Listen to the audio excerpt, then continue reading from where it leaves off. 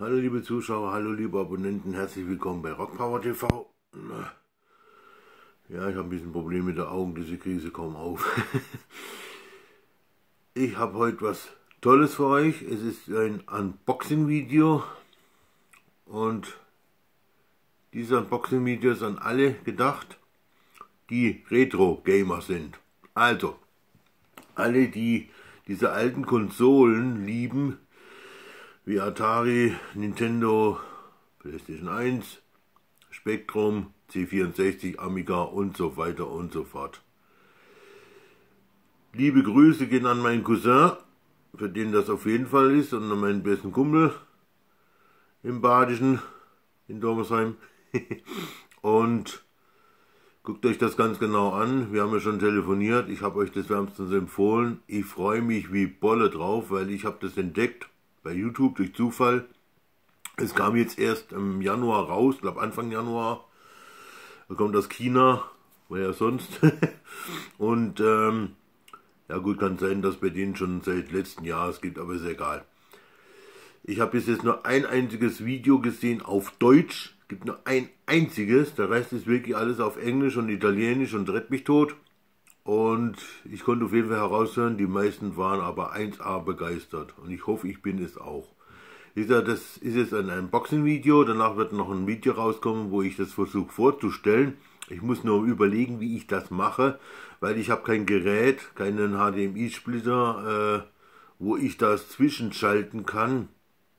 Aber ich habe mir was anderes einfallen lassen. Hauptsächlich kann es euch mal präsentieren. Entschuldigung, Bäuerchen. Und zwar das ist das goldene Mega. Die Super Konsole X. Ihr seht schon, das ist ein bisschen, sieht aus wie eine Miniatur von der guten Super Nintendo. Aber es ist ein Hammerteil, wenn es so funktioniert, wie ich mir das vorstelle. So, es ist heute gekommen. Wie gesagt, habe es noch nicht ausgepackt, das ist das erste Mal, dass ich es mit euch auspacke. Boah, bin richtig aufgeregt. so, hier ist die Konsole drin. Hier ist eine Mini-Anleitung für den Game Controller. Hier ist dann nochmal eine Gesamtanleitung. Ich glaube, die ist auch nur in Englisch, aber ist egal. Wo eben alles erklärt wird, äh, ja, wie die funktioniert und wenn man Spiele auf die SD-Karte bekommt. Ja. Das sind die Controller. Sie sind im PlayStation 3 Modus, haben sie extra geschrieben. Man macht hier auf und setzt eine Batterie ein. Na, kommt schon näher. Wieder setzt zwei Batterien ein. Am besten wiederaufladbare oder wie auch immer.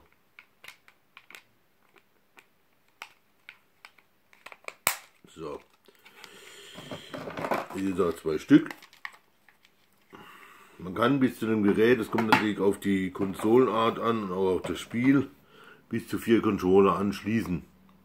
Mit einem USB-Hub. Der ist jetzt mal nicht dabei. Ab und zu ist er dabei, aber wie gesagt, das ist für mich kein Problem. USB-Hub habe ich ohne Ende. So, das sind die zwei Empfänger. USB-Format, wo man dann ins Gerät reinsteckt für die Controller als Empfänger, wie gesagt.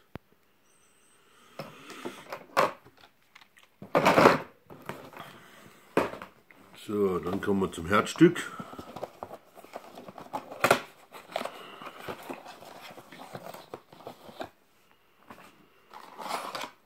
Stromkabel, das ist wichtig.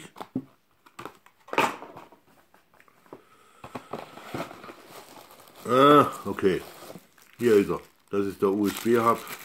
Dieser, der ist halt dann wichtig. Das lasse ich auch noch zu. Ich brauche den jetzt nicht unbedingt, weil ich werde nicht in die Gelegenheit kommen, zu viert zu spielen.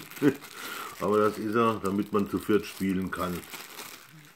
Gesagt, den habe ich doppelt und dreifach. Das ist kein Thema. So. Dann ist ein HDMI-Kabel dabei, eine stinknormale Länge. Das nützt mir manchmal gar nichts, weil ich weit weg gucke vom Fernseher. Aber egal, es ist auf jeden Fall dabei, was ich schon ein Pluspunkt finde.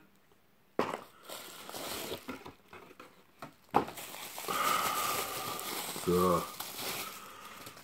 Aha. Und so sieht das Gerät aus. Okay, ich schütze das auch nicht drüber, haben es auch vergessen, aber egal. Hier ist der Ein- und Ausschalter, hier ist der Stromanschluss, hier ist das HDMI-Kabel, hier kann man sogar Internet anschließen, weil man über Internet oder wie das halt richtig heißt, mit den Internet, äh, äh, Netzwerkverbindung halt auch Spiele drauf machen kann. Das ist ein AV-Anschluss, wie auch immer. Hier sind die zwei USB-Anschlüsse, wo diese Teile reinkommen eben. Oder man kann auch direkt, wenn man einen Joystick hat, gibt es ja schon diese Retro-Joystick mit USB-Anschluss. Oder ich habe sogar einen Super Nintendo äh, Gamepad mit USB-Anschluss und einen normalen Nintendo, äh, ja, das erste Nintendo rauskam. Wie gesagt, das gibt es ja schon. Es gibt ja auch dafür die allerersten Xbox-Controller gibt schon äh, Adapter dafür und so weiter und so fort und äh, man kann wirklich alle anschließen. Hier, was hier gelb zugeklebt ist, ist die MicroSD-Karte, damit die nicht rausfällt, weil die ist wichtig. Das Gerät gibt es mit einer 64 GB, mit einer 128 GB und das größte natürlich ist 256 GB. Kostet aber auch dann das Gerät dementsprechend, weil ähm, ja, 64 GB kriegt man schon zwischen, ich sage es mal ganz grob, äh, 60 und 70. Das mit 256 Megabyte, äh, Gigabyte kostet ungefähr so 110 bis 130 Euro. Und wie gesagt, die 128 Gigabyte habe ich ausgesucht. Die bewegt sich auch so zwischen, kann man sagen, 70 und 90 Euro. Jetzt mache ich mal das kurz weg. Wie gesagt, das ist muss man reindrücken. Dann kommt es rausgeschossen, denke ich mal. Ich bin jetzt nicht so ein Fan von Micro-SD-Karten. So, aber das ist das Herzstück. Da sind die Emulatoren drauf, da sind die Spiele drauf, weil da ist nur der Prozessor drin, Arbeitsspeicher etc. pp. Und äh, ja. Jetzt muss ich mal gucken. Ja, toll, ist eine 64 GB. Gut, ist jetzt kein Beinbruch, muss ich mal gucken. Deswegen war die auch so billig, habe ich nämlich schon gewundert. Werden wir dann sehen. Ich denke mal, Emulatoren sind alle drauf. Aber halt, äh, na, Spiele sind da nicht alle drauf. Gut, ist, weil es ein bisschen blöd, dass es nur eine 64 GB ist. Da muss ich mir irgendwann mal selber eine 128er holen oder bisschen gleich eine 256, weil ich habe noch so viele ROMs im Petto. Die habe ich alle auf einer Festplatte gespeichert an der Playstation 1 von Nintendo 64, von, ach Gott, Atari, Commodore und so weiter und so fort. Ich bin so damit begeistert, weil das endlich mal ein Gerät ist, wo eben man stinknormal einfach nur einen Fernseher anschließt, zwei Controller einschaltet und man hat dann ein Menü äh, mit vielen, vielen Einstellungen. Also das ist wirklich geil, von der Sprache natürlich bis was Gott was. Und die Emulatoren da sind Emulatoren dabei, also äh, für Retro-Konsolen. Ich habe zwar von denen schon gehört, aber noch nie gesehen oder geschweige gespielt, weil ist auch eine kleine Empfehlung. Ich habe ein Buch, das nennt sich ein äh, Konsolen- und Heimcomputer-Lexikon von 1972 bis das aktuellste Buch ist gerade von 2015. Das erweitert sich immer, wenn es dementsprechend mit der Konsole dazukommen, was ja in letzter Zeit eigentlich wenig ist, weil ja eigentlich sich immer nur die Xbox, Nintendo und äh, Playstation verändern. und das Buch kann ich wirklich nur wärmstens empfehlen, kostet ungefähr 30 Euro. Und da ist halt alle Konsolen und Heimcomputer drin, äh, wo je rauskamen, wie viele Spiele davon rauskamen, äh, was für Spiele die Module waren, eben als Cartridge oder als äh, CD oder was weiß ich. Und ja, Deswegen bin ich da ein bisschen informiert. Deswegen weiß ich, was da auch drauf ist. Wie gesagt, es sind jetzt bei der 64 Gigabyte, weiß ich, das sind ungefähr 33.000 Spiele vorprogrammiert. Und das ist eine Menge. Leute, das ist eine Menge. Gut, natürlich kann man sagen, behaupte ich jetzt mal ganz grob, die Hälfte kann man in der Hase füttern. Das ist also Schrottspiele. Weil die Klassiker sind halt immer noch beschränkt auf ein paar äh, Stück.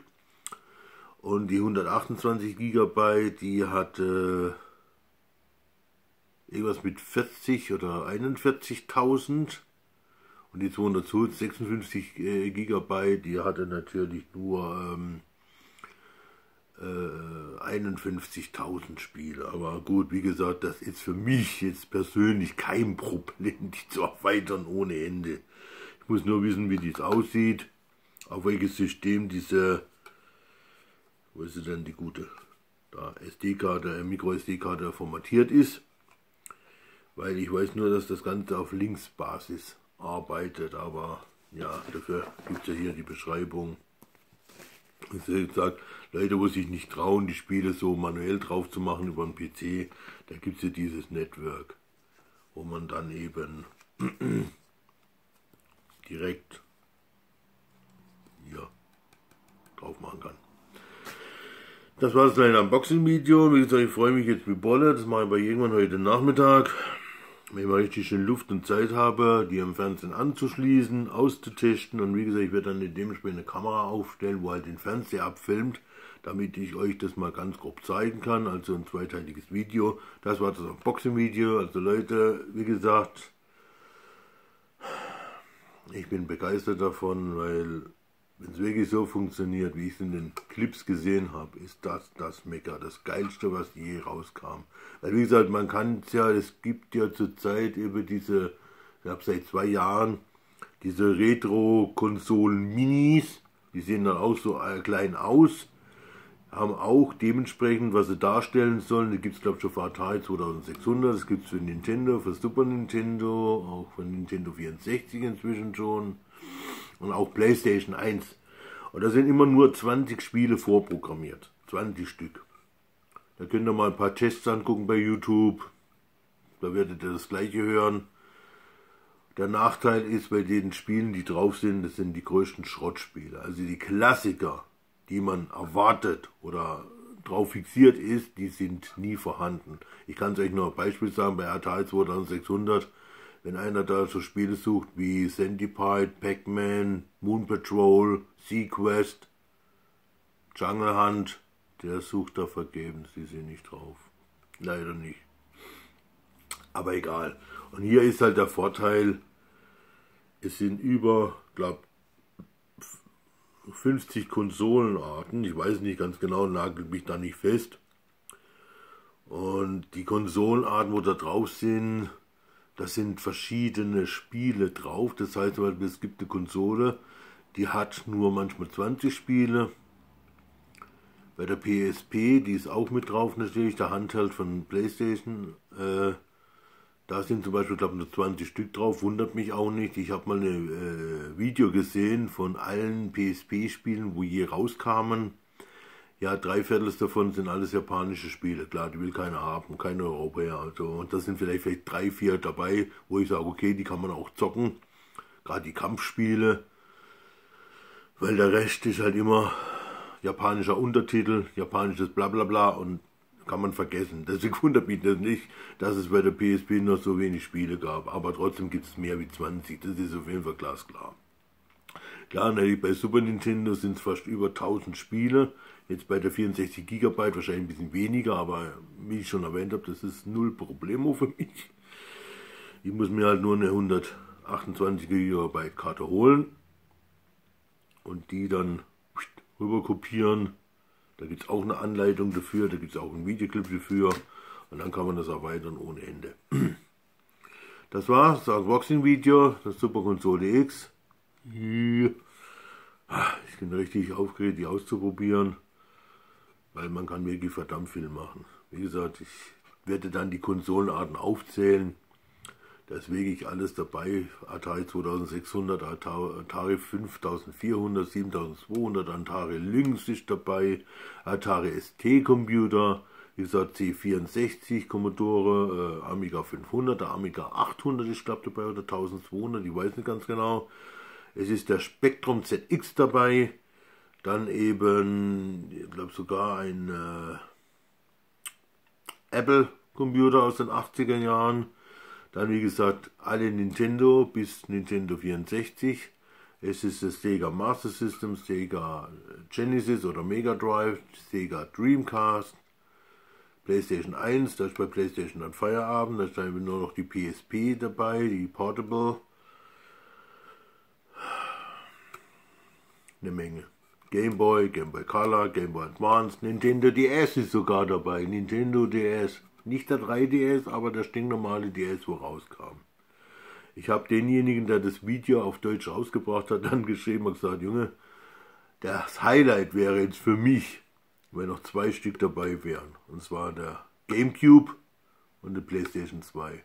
Aber dafür ist das Gerät, glaube so wie ich den verstanden habe, ein bisschen zu schwach.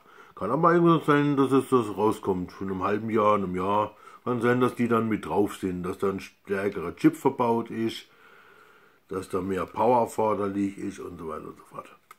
Das war's, liebe Leute. Ich sage danke fürs Zuschauen.